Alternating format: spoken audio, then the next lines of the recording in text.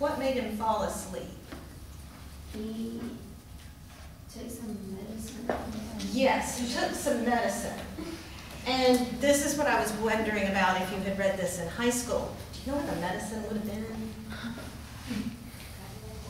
Opium, yes. He was supposed to have been, uh, he had, and actually historically Coleridge did have a problem with opium. At this time, it was not this, this, quite the same thing as, oh my, he's out there taking opium. It had been prescribed by a doctor and he developed an addiction to opium, and that is true. Um, he actually for some time had a doctor traveling with him to try to get him off of the opium, um, but it's, it was a difficult thing um, to overcome. Uh, make sure that I can check this here. Um, so, it, historically, the opium presence is true. Okay, that, I mean, that, but once again, I ask you, where's the title and where's the first line? And just kind of think about that, okay? Also, you might think about the whole idea of the, the fragment is published as a psychological curiosity rather than on the ground of any supposed poetic merits. What does that mean? He's saying, I'm publishing this for what purpose? Hmm. To make you think? To make you think about what?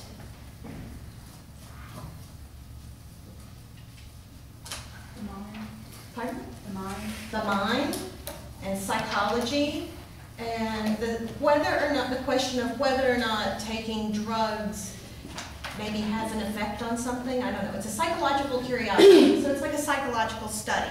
Now Coleridge and Wordsworth invented what? Do you remember from before the break? Romantic poetry, yes, romantic poetry. Do you remember the, did I give you the definition, Wordsworth's, def, Wordsworth's definition of poetry? Do you remember that? Okay, it is the spontaneous overflow, yes, of Uh, powerful feelings, powerful feelings, feelings recollected. Recollected and tranquility. and- Good. Recollected in tranquility. I apologize that this looks like such a mess up here. Somebody clean more water, that's the problem. Problem. In T. I hope that's clear enough to read. Okay. Now, just remember that. This is what Coleridge and Wordsworth are concerned with. Overflow of feelings, memory, emotion, spontaneity. And here he's going to, he says, that the, the introduction here says, no, we're not worrying about poetry. We are concerned with a psychological study. Does that sound like Coleridge? I don't know. Think about, does that sound like Coleridge? So, let's read this, the poem. This is a fun poem. I mean, it's like you can memorize it and just, it sounds really, it's great for like Halloween, it sounds really spooky. Then all the charm is broken, and I am on page eight thirteen. The first, maybe the first line of the poem, I don't know. Then all the charm is broken, all that phantom world so fair vanishes, and a thousand circlets spread, and each misshapes the other. Stay a while, poor youth, who scarcely darest lift up thine eyes. The stream will soon renew its smoothness, soon the visions will return. And lo, he stays, and soon the fragments dim of lovely forms come trembling back, unite, and now once more the pool becomes a mirror. Yet from the still surviving recollections in his mind, the author has frequently purposed to finish for himself what had been originally, as it were, given to him. Greek letters that, let me see, Samurai, uh, something, I don't know. It's a misquotation from Theocritus' Huh? Xanad, It's Xanadu. it is Xanadu. Very cool, thank you. How'd you do that? It's a musical. Yeah. and they used that, Yeah, mm-hmm. they used the Greek in Xanadu. yeah, well, it's about a Greek goddess. Okay, Xanadu. okay. And he says, I'll sing a sweeter song later, right? Is that what this is? Yeah,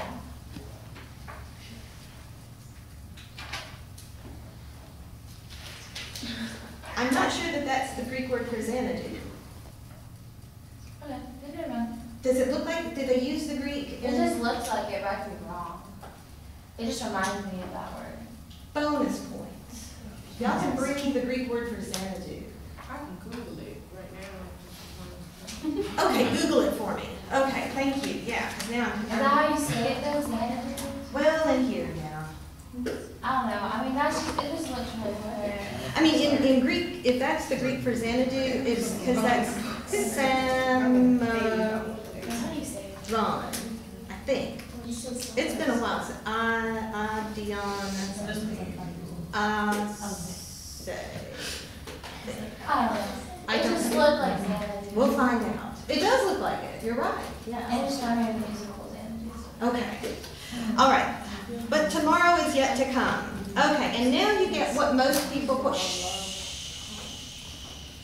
I'm, I'm being particular about quietness because I did talk to some of the online folks over the break while I was doing the exams, and it is hard for them to hear when there's talking, so we want to kind of make it easier for them to hear. Okay, so let's start with the first couple of lines, let's start with what most people think are the most, the first couple of lines of this poem, okay? And then read on to the end. It's not very long. In Xanadu did Kubla Khan a stately pleasure dome decree, where Alph, the sacred river, ran through caverns measureless to man, down to a sunless sea. So twice five miles of fertile ground with walls and towers were girdled round, and there were gardens bright with sinuous rills where blossomed many an incense-bearing tree. And here were forests ancient as the hills, enfolding sunny spots of greenery. Okay, how does that sound? Is it happy, sad, scary? I mean, back to Dr. Phil. How do you feel about that? It's sublime. It's sublime. Oh, great. She says it's sublime. You're at these answers. You're getting, yes, it's sublime. It's mystical, right? The pleasure dome. Uh, where Alph, but it's not just pleasant, because remember, what is the, wor- the world of the sublime? What is, what is the sublime like? It can often be unpleasant. It can be unpleasant, yes. Actually, very kind of, it's connected to the world of death to a great extent, like um, slaughterhouses or char- charnel houses, which are places where they keep the bones of the dead, stuff like that. These, these, that's the area of the sublime. And so it's the pleasure dome, it's exotic because it's Xanadu, and there's a sacred river, there's that transcendence. But out the sacred river ran through caverns measureless to man, down to a sunless sea. How do you have a sea that has no sun in it, on it? It's in a cave. It's an underground sea. I mean, that just gives me the creeps, but I don't like being enclosed and water gives me the creeps and stuff sometimes. So it's like, ooh, you know, that's kind of creepy, right? Um, down to, and it's a, and they are, they are caverns measureless to man. We can't measure, science can't measure these caves, right? They go beyond what we've got measurement for, so we can't measure them, something transcendent. But oh, that deep romantic chasm which slanted down the green hill athwart a cedarn cover, a savage place, as holy and enchanted as ere beneath a waning moon was haunted by a woman wailing for her demon lover. Ooh, wow. Twilight, I guess, I don't know. Bad, bad writing, but anyhow. Twilight, people, please. Okay, um, at least read something good, okay, sorry. Uh, So, savage, I mean, is there like a vampire guy in Twilight? Uh, yeah, Yeah. just. Who? He's all blue. What? He's all blue.